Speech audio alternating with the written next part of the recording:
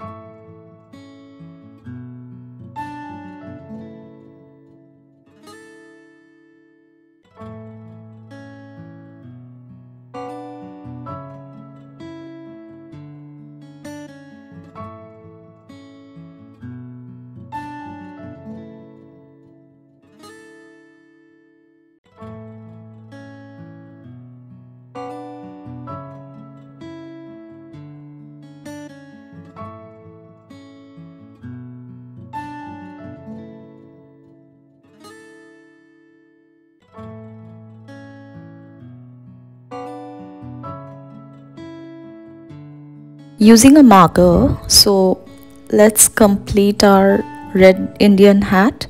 What we are going to do is we are do, going to outline our red Indian hat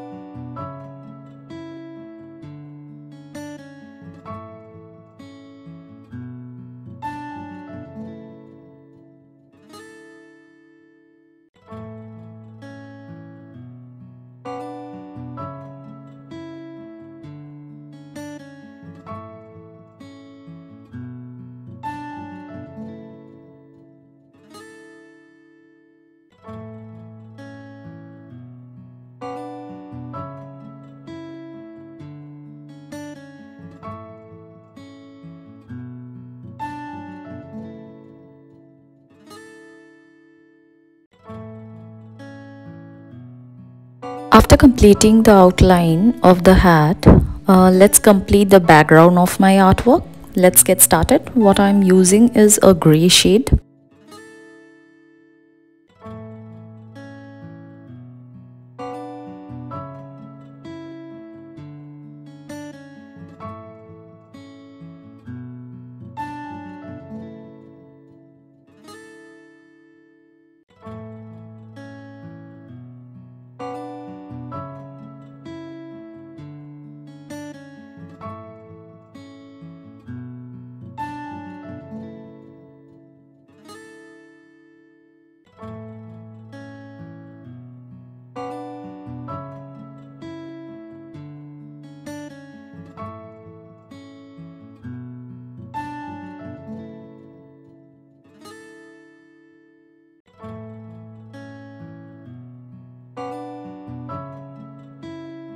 Do like, share and subscribe to my YouTube channel. Thank you for watching.